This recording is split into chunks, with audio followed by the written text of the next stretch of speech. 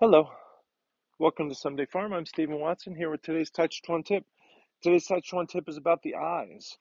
So I'd invite you to uh, try practicing your form with your eyes closed if you ordinarily do it with your eyes open. And if you ordinarily do it with your eyes closed, try it with your eyes open. Of course, having the eyes closed is um, some kind of invitation uh, to uh, more danger. So I'm not trying to invite you into danger. Uh, please do it only with due regard for safety and don't make yourself do it if you don't feel ready or keep doing it if you don't continue to feel ready. so um, this doesn't necessarily mean fully close the eyes or fully open the eyes. It could just mean change.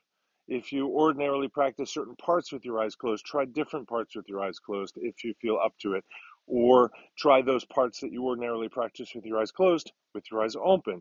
See what happens uh, to your mind. Your mind is very much connected to your eyes, and your eyes are very much connected to the view that you have.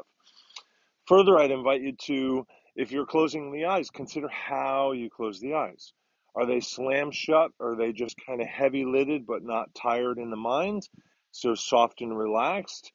Um, and notice how closing the eyes, if you do practice that way, and again, you, you might just practice this very early move with the eyes closed and say, okay, everything else where I'm stepping and shifting, I, I feel better having my eyes open. So that's great. So now you've inclu- uh, included in your form practice the ability to have the eyes closed in a certain place and consider the way that you have them closed as well. But uh, note when you close your eyes if you have a sense of calm when you close the eyes uh, during the uh, some some or all the parts of the form practice. Notice also if you have a sense of anxiety. Some people will have a sense of anxiety or concerns, danger, worry. Other people will have a sense of serenity, tranquility, peace, calm with the eyes closed. And there's a pretty interesting divergence there. And so your experience may not be the same as somebody else, even though you each have the eyes closed. And maybe considering the manner in which you close the eyes to be part of that process.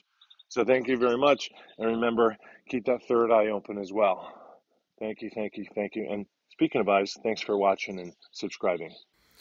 Thank you for your support. We're relying on donations now more than ever. Here are all the ways that you can help. Online reviews, sharing videos, commenting, subscribing also help.